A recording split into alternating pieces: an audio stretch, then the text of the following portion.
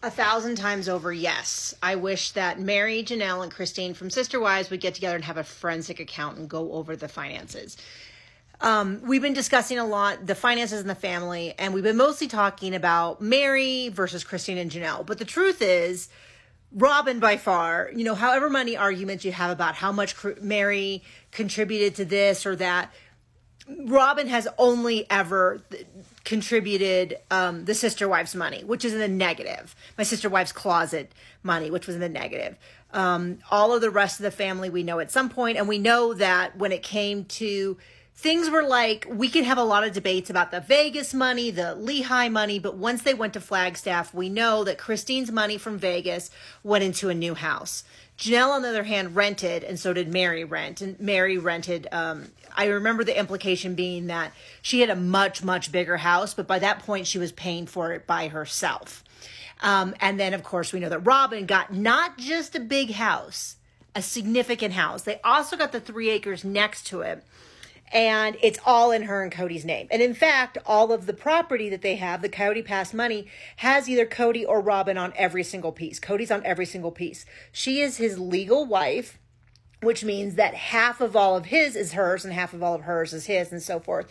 So if anything was to ever happen, which I think will at some point come up, we started getting some of the discussion last season but even then, it wasn't to the level that I wanted because what I wanted was for them one, they talk about Meri's piece, Janelle's piece, Christine's piece and Robyn's piece, and that they're going to redivide them so that Kody has his own. But the truth is, Kody's name is on every single one, and Robyn's name is on several pieces. Um, it's not like it's just listed with Meri's, and I'm I'm sure that that was 100% intentional on Kody's part because he absolutely has financially looked after himself every step of the way.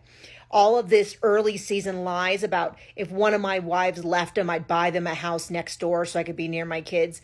Boo, boo, falsehoods, lies, lies, lies.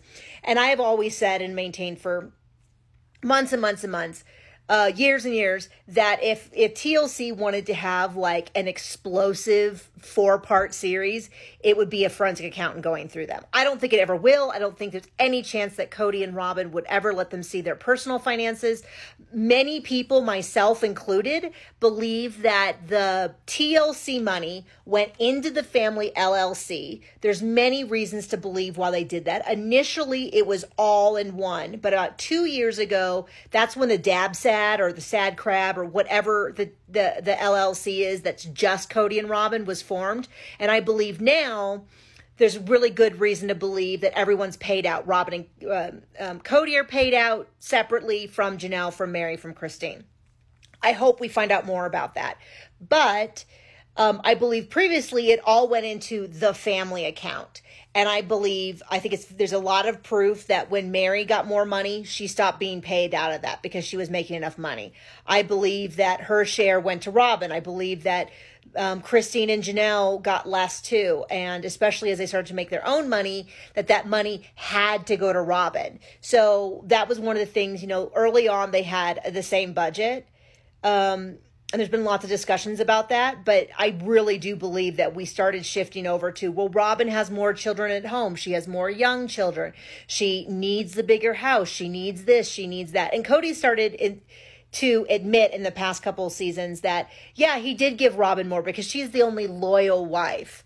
Whereas for years and years and years, I mean, what's funny is he'll say on one hand, I never ever Robyn got the same amount of time as everyone else. And then he'll turn around and say, Yeah, I was there and I took her kids to school every day and tucked them into bed every day because I wanted to. And I asked my right. And it's like, well, those ideas are not consistent with each other. So, yeah, for sure.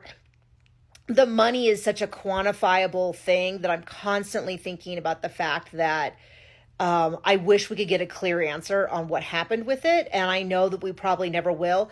But crossing my fingers, any day now in the next week, if it's anything like last year, any day now, we're going to get the trailer for season 19.